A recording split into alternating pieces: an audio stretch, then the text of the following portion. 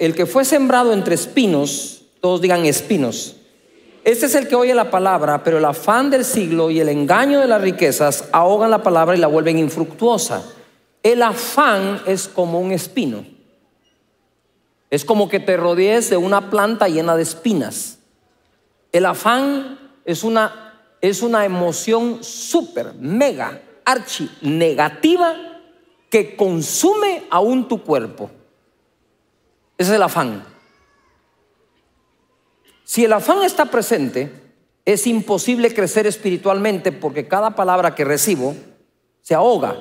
Y no hay crecimiento espiritual correcto que no venga de las escrituras. Por ejemplo, hay gente que dice, deberíamos de ser más espirituales. Yo diría que deberíamos de ser más bíblicos, porque espirituales también son los satánicos. ¿O no? Tienen su sistema de adoración, de sacrificios, de ofrendas, todo. Son espirituales. Espiritual es un brujo. Entonces cuando tú decís hay que ser más espiritual, ni siquiera sabes qué estás diciendo. Simplemente es una frase lanzada al viento como para presumir que yo quiero ser espiritual. Hay que ser escritural. ¿Me estoy explicando? Y entonces voy a ser espiritual, escrituralmente espiritual, pero no puedo ser espiritual como Dios quiere que sea sin las escrituras. Si leyeras la Biblia como has leído el libro de texto de tu profesión universitaria, otro gallo te estaría cantando y otro sol verías en el amanecer. Porque la palabra de Dios es viva y eficaz, por lo tanto debo tratar el afán y debo conocer de riquezas, porque si no me van a engañar y se van a robar la palabra que Dios tiene para mí. La palabra que creó el universo, la palabra que va y no regresa vacía, la palabra que envía y sana a la gente, esa palabra no puede crecer en un corazón afanado. Así que todo el mundo diga, como dijimos anoche, Hakuna Matata. Relax.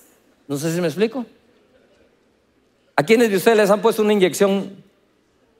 No sé si es mala palabra aquí, pero está en el mismo lugar en todos nosotros, en una nalga. La tengo en el mismo lugar que la tenés vos, tranquilo. ¿Sí? Va. ¿Qué te dice el doctor? Suave, suave relájese. Sí. Está tenso, está tenso, está tenso. Relax, relax. Peor esas que son para los nervios, que son como aceite, santo, así se le hace el pie a uno cuando... Ah, hace poco me pusieron una y yo había estado tan tenso, ¿verdad? Por, por, por un ejercicio que hice, pero tenso, que cuando la hoja entró hizo ¡trac! Ya. Si te pones tenso en tus emociones, no la logras. Las tensiones de la vida se manejan de forma relajada. Dije ayer, al punto que la gente te crea un irresponsable. Pero como no es a él al que le van a meter la inyección, relájate vos. Que él mire qué hace cuando le toque. Entonces, ojo acá pues. Ahora voy. Hoy quiero dejar claro si la riqueza es buena o es mala.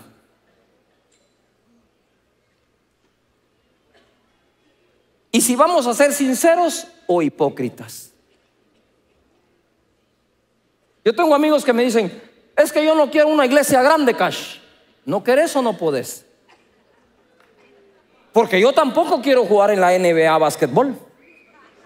Pero con esta estatura. No. Es decir, cuando la gente dice, es que yo no quiero, presume de humildad, cuando lo que es es un gran orgulloso. Yo no quiero el mundial de fútbol. O no sé patear la pelota. Y hay gente que dice, yo no quiero ser rico. No podés o no puedo o no querés? ¿Cuál de las dos es en realidad? Porque si no querés, pero podés, yo te rogaría que lo logres y después se lo regales a los pobres.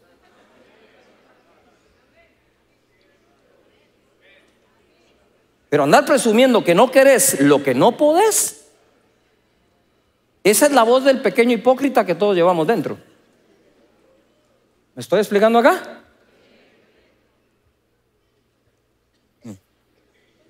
Yo no quiero casarme con una modelo, pero si estás más feo que un susto, deja de presumir. que no querés, no podés, papá.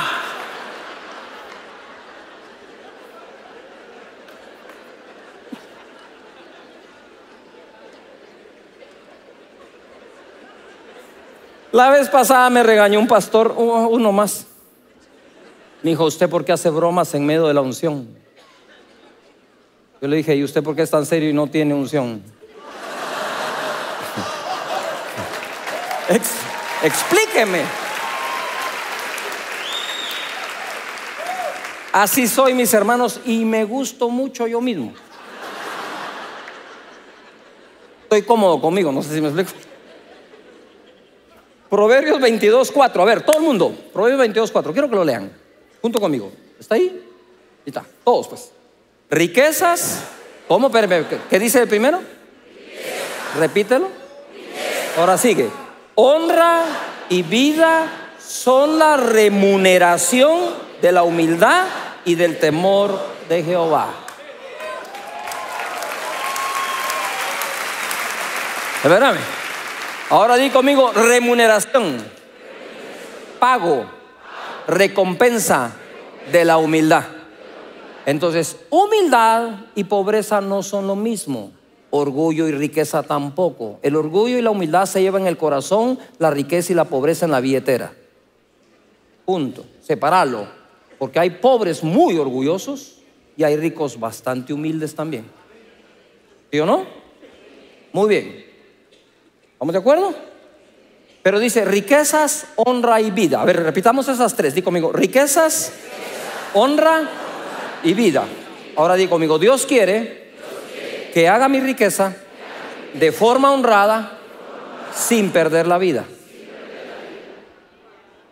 Eso se llama prosperidad integral. ¿Lo repetimos? Dios quiere que haga mi riqueza honradamente sin perder la vida. Este verso lo deberían de tener ustedes en un cuadro en sus oficinas, en el refrigerador de la casa, en todos lados cuando te levantes, porque la voluntad de Dios es darte riqueza como una recompensa a tu humildad y al temor de Jehová o el respeto. Pero si tú tienes riquezas de forma deshonrada, no es Dios el que te la está dando. Ahora, tú podrías tener riqueza de forma honrada y estar perdiendo la vida con una enfermedad causada por todo el trabajo que tenés para crear la riqueza. Eso tampoco es de Dios. Entonces Dios quiere que seas rico, sí, ahí dice. No soy yo, yo no escribí la Biblia, no se pelee conmigo. ¿Ah? Si quiere resucite a Salomón y agárrelo el cuello, hágalo con él. Pero Él te quiere dar riqueza, pero no de forma deshonrada y deshonesta. La deshonestidad va de mil formas en la economía. Si nosotros comprendiéramos esto, no tendríamos en el mundo los gobiernos que hoy tenemos, no habría corrupción. Todo ese tema mundial de la corrupción, ¿tiene o no tiene que ver con el dinero? Ah, entonces aprendamos de esto, porque ¿y si sos el próximo? La vez pasada estaba yo comiendo en un restaurante con hermanos. Y yo invité, y cuando invito me dice un hermano, pastor, imagínate, pastor, si no vas a usar la factura, la puedo pedir a mi nombre. Oh, y yo le digo, espérame, espérame, si querés la factura a tu nombre, vos pagá. Lo que me dijo es que lleva una doble contabilidad. Estás perdiendo la posibilidad que Dios sea el que te dé la riqueza. La otra vez con otro hermano. Fuimos a un parque de diversiones en Guatemala. Juan Diego estaba pequeño, rubiosito. Juan Diego fue muy rubio de niño. Hasta, hasta ahorita todavía puede hacer una prueba de DNA. Pero estábamos ahí. Y entonces teníamos que pagar, pero el que iba adelante no tenía que pagar porque tenía derecho a entrar. Y me dijo, pasame a Juan Diego, lo paso como mi hijo. Espérate, le dije, ¿cómo así? Le dije, si dejo que lo pases como mi hijo, de hoy en adelante lo mantenés vos. Imagínate mi hijo va a decir, mi papá por ahorrarse unos centavos me hizo pasar como el otro. Lo peor, y si duda que yo soy el papá, si no es el otro.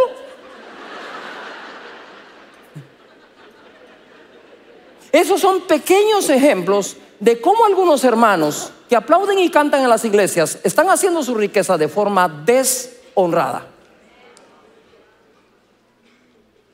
El otro ejemplo es que no tienen tiempo para descansar, no tienen tiempo para el Señor, se enferman tanto que están perdiendo la vida por la riqueza. La riqueza no puede ser aquello que te lleve a perder la vida. La riqueza Dios te la da para disfrutar la vida. Si vas a aplaudir, que sea bien.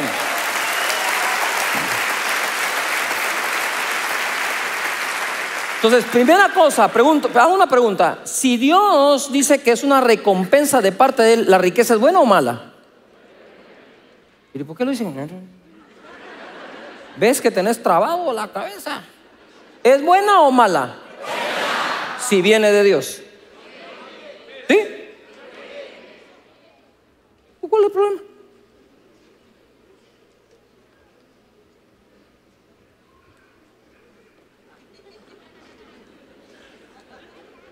Ríanse más porque ahorita viene más. Primera Timoteo 6:17 le dice Pablo a Timoteo, a los ricos de este siglo manda. ¿Sí? Por lo tanto, si no eres rico, te puedes olvidar del verso.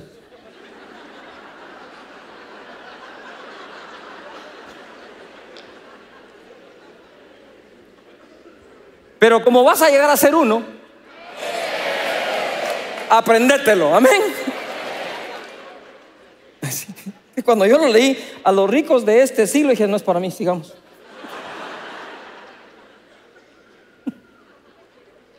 Y mira el mandato que le da Pablo a los ricos, ¿verdad? O Timoteo.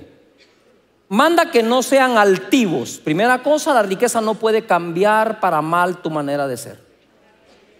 Yo te voy a decir algo que, voy a decir algunas verdades aquí que solo creo que solo yo me atrevo a decirlas y por eso me dan duro, pero alguien las tiene que decir. ¿Verdad? Cuando vos tenés un amigo rico, la ventaja que tenés es que ya sabes qué le pasó por ser rico. ¿Es humilde con riqueza? Es humilde. ¿Trabaja honradamente? ¿Me estoy explicando? Cuando tenés un amigo que no tiene petate donde caer muerto, no sabes en qué se va a convertir el día que tenga. Habría que esperar un buen tiempo, ¿no? Porque hay gente que en cuanto tiene algo, ay Dios santo, ¿quién los aguanta? pedantes, altaneros, arrogantes y perdón la palabra, pedorros. ¿O qué es un pedante, pues? Ah, digo yo que por ahí va la onda y si no, pues me equivoqué, pero yo ya la interpreté. Es que ¿quién los aguanta? Se bajan del carro que apenas acaban de comprar, que lo deben todo. No te saludan, les cambia el caminar hacen el llavero así con la llave, la ponen encima del restaurante para que todo el mundo mire la marca que tiene. Estás loco. La riqueza no te puede hacer eso. ¿Ya? La riqueza luce mejor en un humilde. Perdona, y la pobreza no luce en un orgulloso. Porque pobre y además orgulloso, papá, ¿qué te va a pasar cuando ganes 10 pesos más? ¿Te vas a volver el diablo?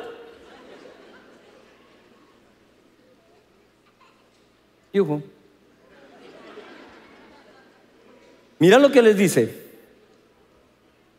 Ni pongan la esperanza en las riquezas, las cuales son inciertas, sino en el Dios vivo que nos da todas las cosas. Sigan diciendo. ¿Cómo nos da las cosas? Abundantemente. ¿Para qué? Las disfrutemos. Disfruta tus cosas. Porque si no, cuando tú te muras, el yerno las va a disfrutar. ¿Vos crees? ¿Vos crees que cuando te entierren van a estar todos románticos a todos sus hijos, tu esposa, el yerno y todo eso? Ay, sí. Ay, se fue. Póngale el mejor reloj que tiene. Mi sombrero, a ver el reloj para acá. Él siempre quiso que me lo dieran a ver. Y el otro cada vez que mira la hora, ay, mi suegro. Dios da la riqueza y la facultad que disfrutemos de ella, del trabajo, de todo. Todo lo demás es vanidad, dice Eclesiastés. ¿Ah?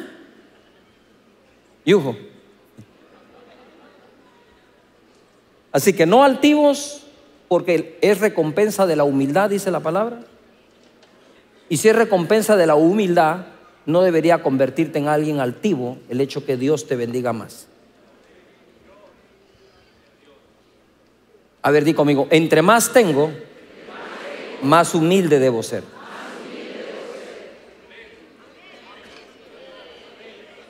No se pone la esperanza en las riquezas porque un día están y al otro día no están. ¿Me estoy explicando? Entonces el engaño de la riqueza es que si tenés te sentís de una forma, si no tenés no, no te sentís igual. O sea que la, la riqueza está determinando tu estado de ánimo y como dije ayer, hasta tus oraciones. Porque le pides Dios a Dios de acuerdo a lo que ganas, no de acuerdo a lo que Él tiene. Entonces esa oración está siendo influenciada por Mamón, el Dios de las riquezas. Entonces, sí, sigo. Bueno, entonces dice acá que la ¿Sabes tú que hace dos semanas Ah, bueno, el Señor me empezó a hablar en este año y me dijo, dile a mi pueblo que se blinde, que mantenga las ventanas de los cielos abiertas porque viene una crisis muy grande. Yo, y se lo dije a la iglesia. A la semana siguiente de decírselo, sale la noticia que la Bolsa de Valores en Nueva York perdió en un día 2.9 trillones de dólares. Trillones de dólares. Segunda cosa, la misma semana la Bolsa de Valores de Taiwán tuvo el peor día en los últimos 57 años. Y uno de los candidatos a la presidencia de Estados Unidos anunció, estamos a la puerta de una recesión como la de 1929, cuando la gente se tiraba de los edificios y se suicidaba porque lo había perdido todo. ¿Por qué? Porque al perder el dinero, perdieron la esperanza, porque la esperanza la tenían en el dinero. O sea que o, aprendemos este tema y lo operamos con los versículos, los principios del reino, o estamos a las puertas de algo que va a ser muy serio. Ahora, si yo fuera un profeta y te diría, dice Jehová de los ejércitos, ah, pues tomame hoy como profeta. Blindate para lo que viene. Sino que lo que tienen que hacer dice que hagan bien, que sean ricos en buenas obras. Digan conmigo, buenas obras. Dice la Biblia que Dios recompensará las buenas obras. Pero si no tengo con qué hacerlas? ¿Ven qué lógico es? Para hacer buenas obras tengo que tener con qué hacerlas. Ahora, cuando entonces ya empezás a comprender el por qué Dios quiere darte riqueza, es porque quiere que sea su pueblo el mayor hacedor de buenas obras en la tierra. Estamos felices en casa de Dios que ahora, si Dios quiere, de aquí a finales de año, ya vamos a pasar a entregar un millón de tiempos de comida al mes a los necesitados. Pero para eso hay que tener con qué, ¿no?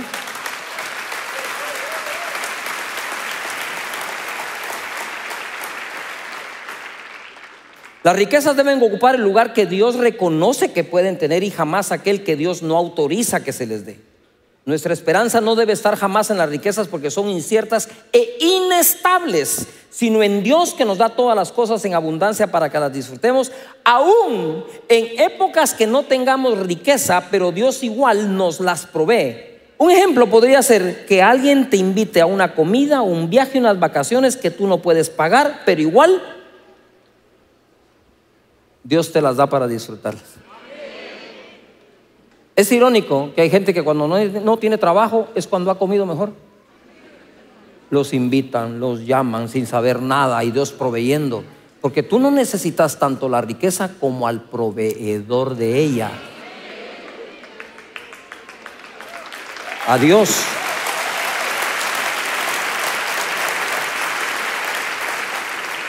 La riqueza te da comodidades, pero no te da el derecho de tratar mal a nadie solo porque las tienes. Bueno, hay gente que sin tener ya es prepotente, no puedo imaginar qué será de él si llega a tener alguna. Además de disfrutar lo que Dios nos puede dar abundantemente, junto con este derecho viene el deber de ser generoso y dadivoso haciendo buenas obras con lo que recibimos de parte de Él. De tu presupuesto que dedicas a la buena obra.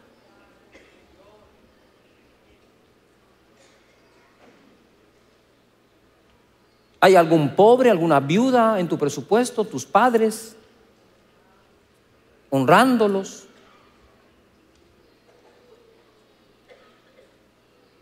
Primera Timoteo 6:10. Porque la raíz de todos los males es el amoral. Apareció otra vez el mencionado dinero aquí. La raíz de todos los males es el amoral dinero, el cual codiciando algunos se extravieron de la fe y fueron traspasados de muchos dolores. Ahora viene acá. Dios puede dar la riqueza sin ni siquiera pedirla. Bueno, si el dinero sirve para buenas obras, no es malo tenerlo. Ahora, si Dios puede dar riqueza sin ni siquiera pedirla, es porque a Dios le interesa que la tengas. Incluso hay una, hay una escritura que dice, la riqueza del impío vendrá a las manos de los justos.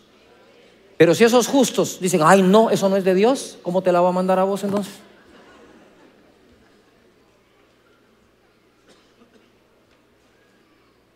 Dice, el pecador no sabe para quién trabaja porque acumula riquezas para dárselas al que agrada a Dios. Entonces hay una riqueza que va a venir por tu esfuerzo y tu trabajo bendecido por Dios y otro que Dios simplemente te lo va a trasladar porque eres justo. Bueno, ¿seguimos o no? Primera Reyes 10. Y agradó delante del Señor que Salomón pidiese esto. ¿Qué pidió Salomón? A ver, ¿qué pidió Salomón? ¿qué? Pongan atención a esto, pues. Esas noches las he dedicado yo al espíritu de sabiduría, que también necesita un avivamiento. Jesús fue sabio a los 12 y ungido a los 30.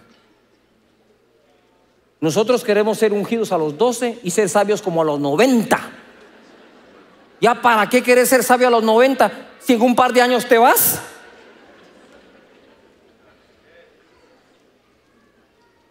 Yo Enseña a tus hijos sabiduría. Salomón pidió sabiduría. Entonces ya era sabio. Porque ¿quién iba a pedir sabiduría? Solo la pide un sabio. No sé si me explico, aquí hay un como algo que hay que desamarrar. Entonces pidió sabiduría y le dijo Dios, porque has demandado esto, la sabiduría, y no pediste para ti muchos días, ni pediste para ti riquezas, ni pediste la vida de tus enemigos, sino que demandaste para ti inteligencia para oír juicio.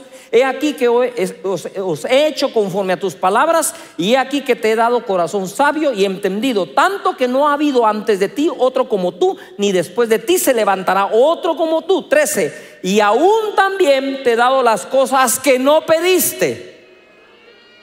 Riquezas y gloria. No puede ser mala si hasta la da sin pedirla.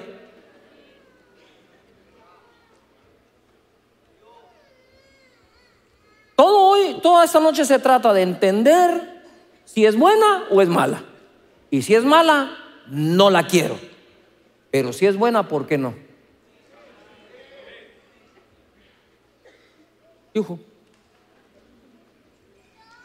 De tal manera que entre los reyes ninguno haya como tú en todos tus días, y si anduvieses en mis caminos guardando mis estatutos y mis mandamientos como anduvo David tu padre, yo alargaré tus días. Entonces mira pues, riquezas, gloria, largura de días. No pidió ninguna de las tres. Pidió ser sabio. Ahora Dios te anticipa. Te he dado espíritu de sabiduría. Por lo tanto va a ser inevitable que seas rico. ¿Me explico? Iba a ser una consecuencia de lo que pidió. Entonces pedimos sabiduría porque si somos sabios, la riqueza es una de las muchas consecuencias de serlo. Es sabio no deber. Ahora mira Proverbios 3, 13, 16. Bienaventurado el hombre que haya la sabiduría. No sé si está hablando del mismo. Creo que sí. Y que obtiene la inteligencia porque su ganancia es mejor que la ganancia de la plata y sus frutos más que el oro fino, más preciosas que las piedras preciosas y todo lo que puedes desear no se puede comparar a ella. Ponga atención, 16. Largura de días está en su mano derecha y riquezas y honra en la mano izquierda. A ver, di conmigo, levanta la mano derecha y di conmigo. Larga vida, Ahora levanta a la izquierda y di riquezas. Con esto, di, con esto, Dios quiere que yo llegue a ser un viejito rico.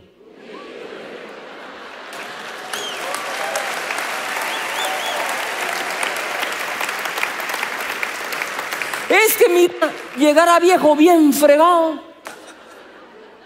No. Tenés que aprender a decir, no, eso no. No lo quiero.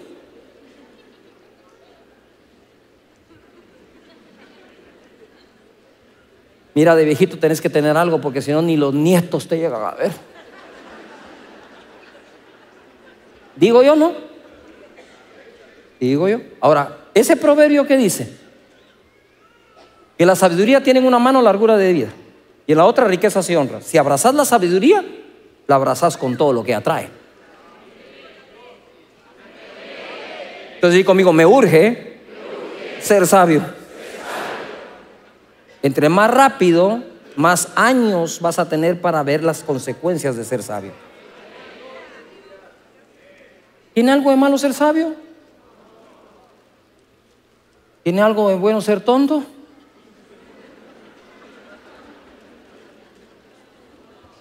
Tampoco. Dios me guarde. Deuteronomio capítulo 8. Entonces, pregunto, si la sabiduría trae riquezas y largura de vida, ¿la riqueza es mala? Si Dios se la dio a Salomón sin pedirla, ¿puede ser mala? Bueno, eso es lo primero que hay que quitar de tu corazón y tu mente. No es mala. ¿Mm? No digas eso, rico, si pudiendo vos ser uno. La semana antepasada, pasada, puse de pie a una mujer indígena de Guatemala que se congrega con nosotros. No sabe leer ni escribir. Y a la par está su hijo David. Un día me encontré a David y le dije, mira David, ¿en qué estás trabajando? Joven de 30 y algo de años. Yo no trabajo, me. Vivo de mis rentas. Rentas. Tengo 12 propiedades, me. Mi mamá me enseñó cómo hacerlas. ¿Tu mamá que no sabe leer y escribir te enseñó cómo hacerlas? Porque siempre ha creído la Biblia, me dice. Cuando la oye predicar, dice, así es. Entonces ella, como no supo leer y escribir, nunca aprendió lo que el mundo dice de las riquezas. Lo único que ha aprendido de las riquezas es lo que ha salido de la boca de Dios. No deben un centavo, no deben nada. A la semana siguiente me llama el yerno, el esposo de la hija. Llegan conmigo. Dice, pastor, hemos traído una primicia de una de las bodegas que alquilamos, es tanto. ¿Ok? Le digo, y, entonces, ¿qué? Mira, le digo, yo necesito poner unas sedes. Ay, pastor, entonces no vamos a parar de comprar bodegas. Y vos con tus tres maestrías en finanzas, estás más quebrado.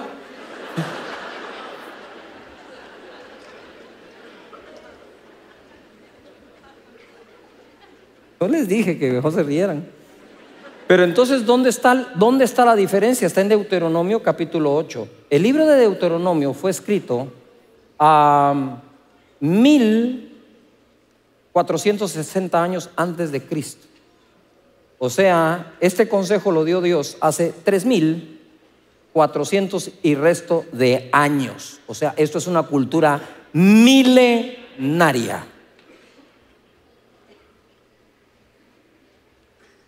Cuídate de no olvidarte de Jehová tu Dios para cumplir sus mandamientos, sus decretos, sus estatutos que yo te ordeno hoy. No suceda que comas y te sacies y edifiques buenas, singular o plural.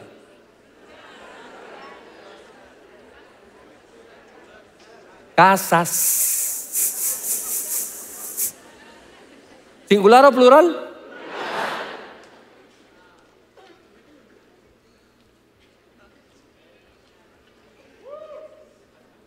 Entonces venís tú y Señor, dame tres casas y aparece el hermano envidioso. ¡Tres casas! Sí, pero tengo tres hijos todavía. Ah, no, perdón, cuatro para que yo también tenga una, Señor. Si la Biblia dice que las riquezas son herencia de los padres, pero de Jehová la mujer prudente. Vos que le estás pidiendo mujer para tu hijo, estás haciendo la riqueza para darles. Porque en el mismo versículo aparece. Entonces queremos que Dios cumpla que le dé una mujer prudente a nuestro hijo por mujer, pero nosotros no cumplimos el otro, la otra parte del versículo, ¿ah? que la riqueza es herencia de nosotros. Dice la Biblia que el justo dejará herederos a los hijos de sus hijos. Y conmigo, el justo dejará herederos a los hijos de sus hijos. Eso se llama ficha. Entonces, o Dios está mintiendo o nosotros estamos haciendo algo equivocado. Y la primera equivocación que tenemos es que nuestro subconsciente ha sido alimentado de enseñanzas que no vienen de parte de Dios. Hoy vas a ser liberado para llegar a hacerlo.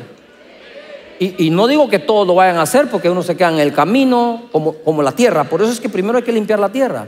Porque si tenés afán de la vida y engaño de la riqueza, no vas a crecer espiritualmente porque tenés lo que ahoga la palabra. La consecuencia más linda de esto, que no seas engañado más por la riqueza, es que la palabra que se siembra en ti va a dar fruto y dando fruto vas a glorificar al Padre. Y cuando glorifiques al Padre, pedí lo que querés, que lo vas a tener, dice la Escritura. Digo, o ya están cansaditos. Yo ya, esto voy a terminar rápido. Dice, y luego dice acá, no suceda que comas y sacies y edifiques buenas casas en que habites y tus vacas y tus ovejas se, aumenten y la plata y el oro se te multiplique y todo lo que tuvieres se aumente. Oye eso. Que se aumenten tus vacas, tu ganado, lo que haces de trabajo, que el oro y la plata se te multiplique. Yo no sé cómo se hace para que multiplicar, pero ahí dice que se va a multiplicar. Luego, y se enorgullezca tu corazón, que fue lo que Pablo le dijo a Timoteo, decirles que no sean altivos se enorgullece tu corazón y te olvides de Jehová tu Dios que te sacó de la tierra de Egipto, de casa de servidumbre, que te hizo caminar por un desierto grande y espantoso, lleno de serpientes ardientes y de escorpiones y de sed, donde no había agua, y él sacó agua de la roca del pedernal, que te sustentó con maná en el desierto, comida que tus padres no habían conocido, afligiéndote y probándote para la pose de hacerte bien. 17, todo el mundo, porfa. Y digas en tu corazón, todos, mi poder y la fuerza de mi mano me ha traído esta riqueza, sino acuérdate de Jehová tu Dios, porque Él te da el poder de hacer las riquezas, a fin de confirmar su pacto que juró a tus padres como en este día.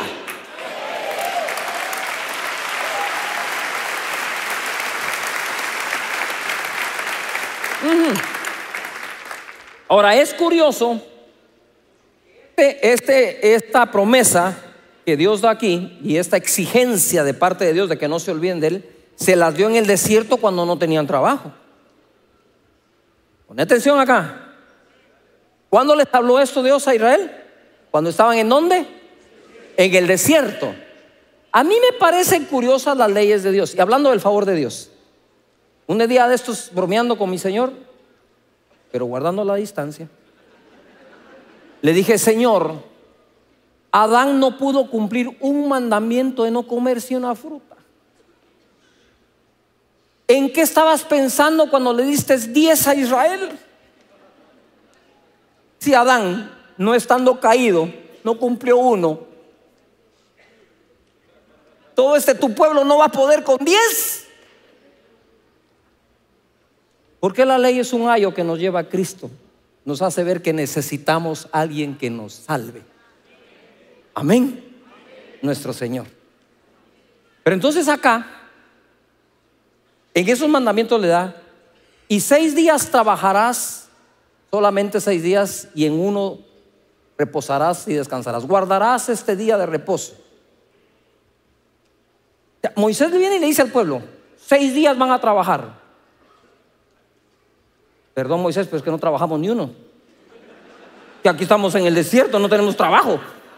¿Cómo así que ahora viene una ley de seis días trabajarás? Y en ese séptimo descansarás. Porque ellos salieron de ser esclavos, pero la esclavitud no salió de su cabeza. Solamente los esclavos trabajan siete días, señores. Así tenés que sacar esa cabecita llena de principios de esclavitud y descansar en el día del Señor y decir, este es el día en que yo reposo en mi Señor y es el día en que causo que Dios me prospere en otros seis días. Ahora ya te diste cuenta que viene Dios y le pone una ley, la ley del trabajo. ¿Y con qué se consigue el dinero? Con el trabajo. Y le pone una ley y le dice, cuidado, me trabajas siete. Porque el día que estés trabajando siete me estás diciendo que todavía tenés una actitud de esclavo. Y eso que habían pasado 400 años de esclavos, que mire, 400. Pero ahí fue en el desierto, donde lo reúne y le dice, pero cuando edifiques casas y cuando tu ganado se aumente, la plata y el oro, y se voltearon a ver, ¿cuál? Se les multiplique, pues si ni tenemos. Precisamente para, para los que no tienen es esta escritura. ¿No me oíste? Esta escritura es para el que no tiene, para el que está en el desierto, para el que está desempleado. Al desempleado es el que le habló Dios diciendo, ahora te voy a conseguir trabajo, pero me tenés que prometer algo. Solo seis días vas a trabajar. El otro me lo vas a consagrar a mí. Y cuando seas bendecido y construyas casas, porque no te voy a dar una, te voy a dar varias, y todo tu trabajo se multiplique, y la plata y el oro, acuérdate que fui yo, no fuiste tú. Oh, dáselo a él. Es Dios, no tú.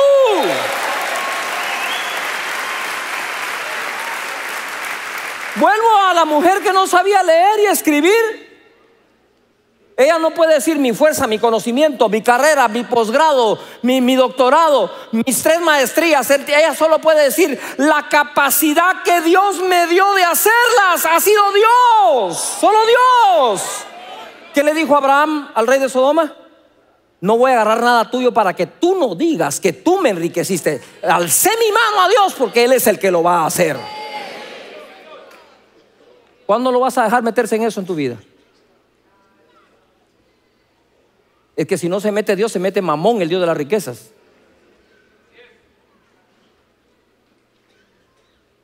Cuando Dios te ordena hacer algo y tú le dices, me ordenaste hacer el templo, me ordenaste, pero no tengo con qué.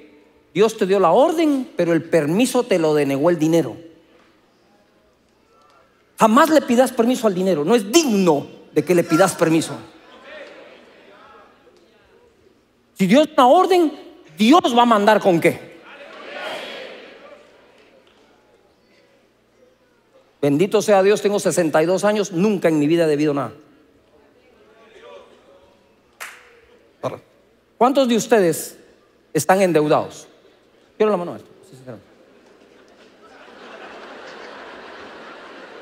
Son los mismos que están afanados, ¿va que sí? A ver, de nuevo, levanta la mano.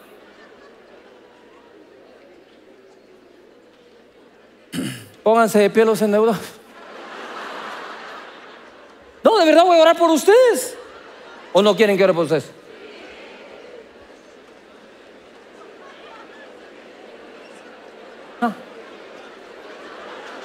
Ahora yo que no debo nada soy el malo. Soy el criticado. Yo que no debo nada soy el que critican. ¿Y ustedes qué? Ahora pongan atención. ¿Ustedes creen que es malo si oro por ustedes para que Dios prueba para pagar sus deudas? ¿Me permiten orar por eso ahorita? Levanta tus manos. Padre, en el nombre de Jesús yo oro por todo tu pueblo, que por una u otra razón tiene alguna deuda económica, para que tú proveas abundantemente, para que sean libres de la deuda. Tú dices en tu escritura que uno que debe es siervo de aquel a quien le debe. Libéralos de ser siervos de alguien más, Señor. Porque siervos solo tuyos somos. Repite conmigo, Señor, yo pido provisión económica de donde quiera que la mandes para ser libre de deudas. Amén. Siéntese.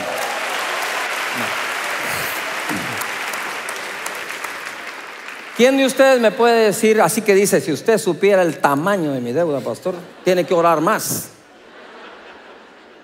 ¿Cuántos deben así una cantidad estratosférica? Así como dice, debo tan. A ver, ¿quién de? Así que una cantidad así gruesa. Quiero ver la mano de los gruesos. Aquellos que cuando van a deber de una vez lo hacen bien hecho. A ver. ¿Me pueden dar una cifra? ¿Cuánto debes? ¿Cuánto? 60 mil dólares en dólares. Mejor si me lo hacen dólares. 300 millones son 60 mil dólares. No le entendí nada a nadie de todos los que hablaron. Va, en dólares, ¿cuántos deben 100 mil? Usted sigue con la mano levantada, ni quiero saber qué va a decir. A ver. ¿Cuánto debes? Pasen la voz para acá. 90 mil dólares. ¿Cuántos creen que vos tenés la mano levantada? Ya estás hasta orgulloso de lo que ves. A ver cuánto debes vos. es que es así, ¿ve?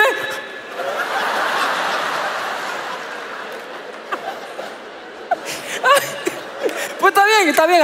Hakuna Matata. Ajá. ¿Qué pasó? ¿Cuánto debes vos en dólares? ¿90 mil? ¿60 mil?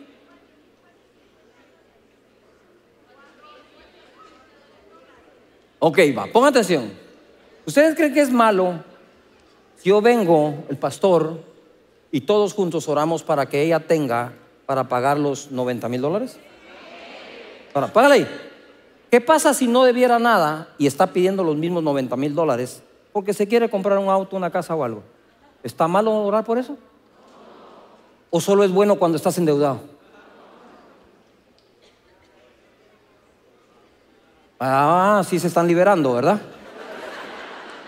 Ah, porque la gente cuando dice, voy a sembrar para que Dios me provea porque debo mucho, estás sembrando porque estás afanado, angustiado, te van a quitar la casa, no estás sembrando ni para honrar a Dios, ni bendecirlo, ni porque estás ilusionado por tener algo más. Lo que quiero decir es, tenés que cambiar tu mentalidad de que podés pedir a Dios eso mismo para disfrutarlo y no eso mismo nada más para pagar una deuda.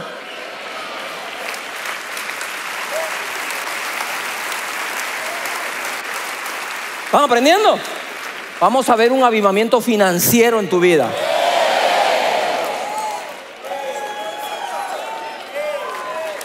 Amén. Recordate, ¿a quién le habló Dios de que le iba a dar riqueza? ¿El poder hacer riqueza? Al que estaba sin empleo. Al que estaba en el desierto. Le anticipó lo que iba a pasar.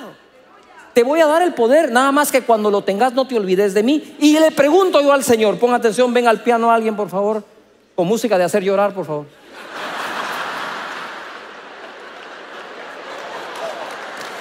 Ay, no. Es que es capaz que me ven a poner remolineando en medio.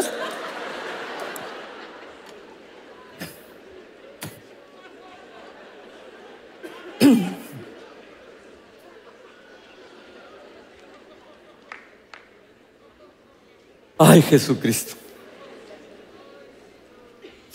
Le pregunto al Señor, Señor, ¿por qué les dices el poder de hacer las riquezas si existe la probabilidad que se olviden de ti?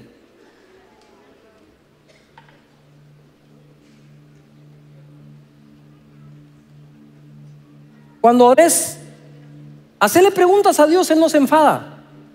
Le gusta a la gente que le pregunta, porque está buscando una respuesta, porque está tratando de entenderlo. Porque está quitando todo lo que impide que crea. ¿Sí? Pero ¿por qué entonces le digo, Señor, hay una unción lindísima aquí, mis hermanos? Van a ser llenos de gozo.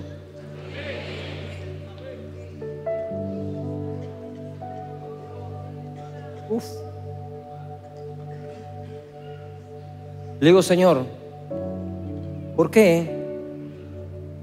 Si hay la probabilidad que se olviden de ti, les vas a dar el poder de hacer las riquezas, porque su advertencia es, te la voy a dar, pero no te olvides que fui yo. Yo le digo, Señor, ¿por qué le vas a dar el poder de la riqueza a alguien que se puede llegar a olvidar de ti cuando la tenga? Y me mostró una visión.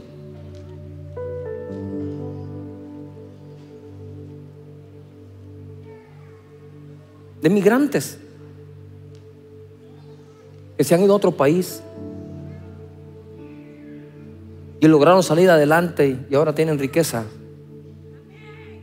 pero ni siquiera llaman a sus padres. No les mandan nada.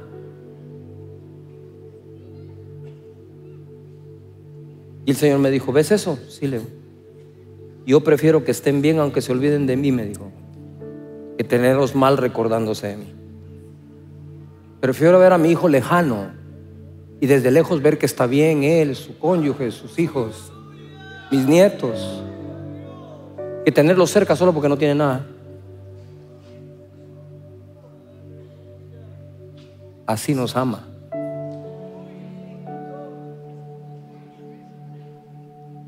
Y si nosotros siendo malos sabemos amar así, no me digas que tú eres mejor que Dios. Así, sí, así es. No has activado ese poder, pero Él te lo dio. He aquí os doy, dijo, y Él no miente, la capacidad de hacer la riqueza. Y vas a tener casas plural. Oro y plata se te va a multiplicar. Solo una cosa te pido, hijo. No te vas a olvidar de mí, ¿va? Vos dijiste nunca, pero no sabes cuántos. Sí. Míralo en el diezmo. Cuando no ganabas mucho, diezmabas. En cuanto viste que el diezmo estaba muy grande, dijiste, esto no. Ya te dañó la riqueza. Lo primero que hiciste fue robarle a Dios.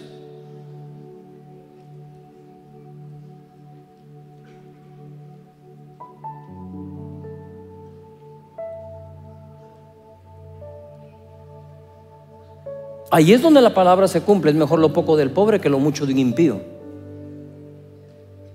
O sea, los impíos también tienen mucho, pero no tienen a Dios. Pero si vos tenés a Dios, ¿por qué no vas a tener mucho? O sea que el diablo bendice más que Dios.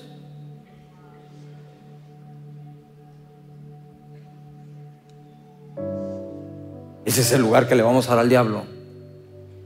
Que puede más él con sus hijos que Dios con los suyos. Vas a ser cabeza, no cola, vas a estar encima, no debajo. Los que hoy buscan empleo mañana van a generar empleo. Tú sabes que una de las cosas que más le agradezco a Dios es que un día yo buscaba empleo. Y hoy cuando tengo 200 trabajadores, con una planilla de mucho, yo le digo, y a veces medio me quejo, ¿no? Digo, ah, esto no hacen caso, no sé qué, no sé cuánto. Y el Señor me dice, pero si antes buscabas empleo, hijo, ahora lo generas.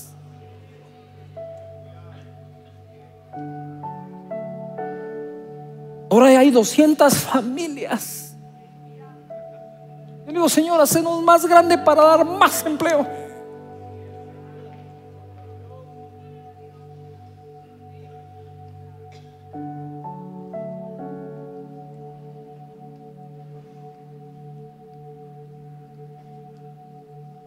Segunda oración. ¿Quiénes no deben nada? Mano en alto, todos los que no deben. Mira la proporción. Déjala, así es en todo el mundo. Si no debes nada, que nada te impida pedir los mismos 90 que necesita para pagar la deuda, vos los vas a querer para hacer algún sueño. Pedilos. Pero si aquel, aquel Dios le puede dar para pagar la deuda, ¿por qué no me va a dar lo mismo a mí que no le debo? Que he cumplido con él que diga no, debe, no debáis nada a nadie. Es un mandamiento. Les voy a dar en unos segundos el mejor curso para salir de deudas. Pongan atención. ¿Están listos? Escrito está. No debáis nada a nadie. Punto. Fin del seminario. Solo obedecelo.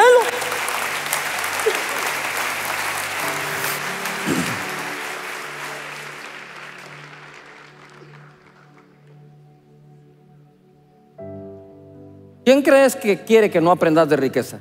¿Dios o el diablo? De nuevo, ¿quién crees que quiere que no aprendas de riqueza? ¿Dios o el diablo?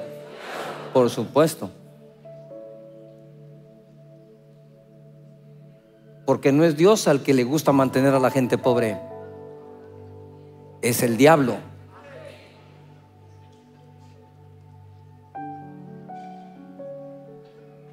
Al revés, como lo habías visto, ¿no? Falta de lectura. Ponte de pie. Ay, no van a faltar mañana. Solo estoy calentando motores. Pero mañana vas a salir como flotando aquí sin afán, sin engaño. Y vas a empezar a ver la provisión de Dios de una manera preciosa en tu vida. Amén. ¿De qué lado el testimonio? Mira, has hecho ese testimonio, pastor, pasé por una prueba, pero Dios usó un ángel porque tocaron el timbre de la casa y cuando salía había una canasta de comida. No fue un ángel, en la esquina está el otro escondido viendo el que te la dejó. Pero ¿de qué lado del testimonio quieres estar? ¿Del que diga, ay, Dios usó a alguien para darme? ¿O Dios usó algo a mí para darle? ¿De cuál de los dos lados? Porque de algún lado vas a estar en el testimonio.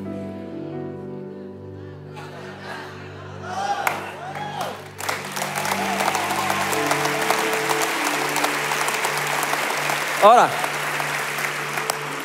en ese testimonio, ¿qué dice la Biblia? Más bienaventurada cosa es que es bienaventurada cosa recibir, pero más bienaventurada cosa es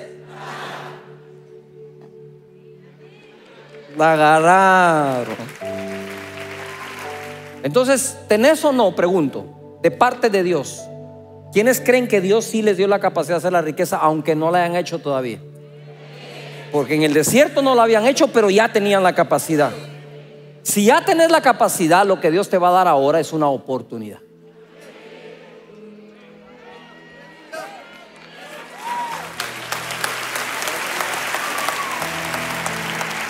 Di conmigo, Señor, ya tengo la capacidad.